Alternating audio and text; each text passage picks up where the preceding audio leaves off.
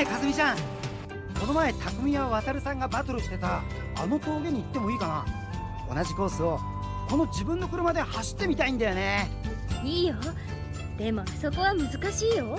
うん。だからこそチャレンジするのが男ってもんさ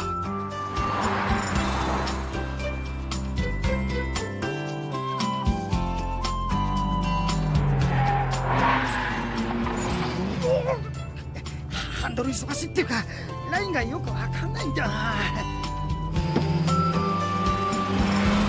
あさすがはターボチューンだね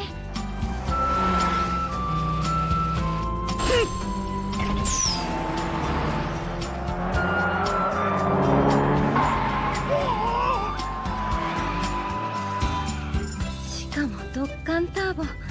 前の兄貴のレビンを思い出すな。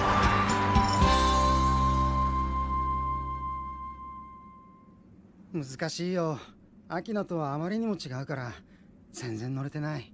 そう言うけど樹くんずいぶん上手くなったよ。横に乗ってて安心感あるから。まあねこれでも結構練習してるからな。俺のターボ癖あるからとにかく練習あるのみってね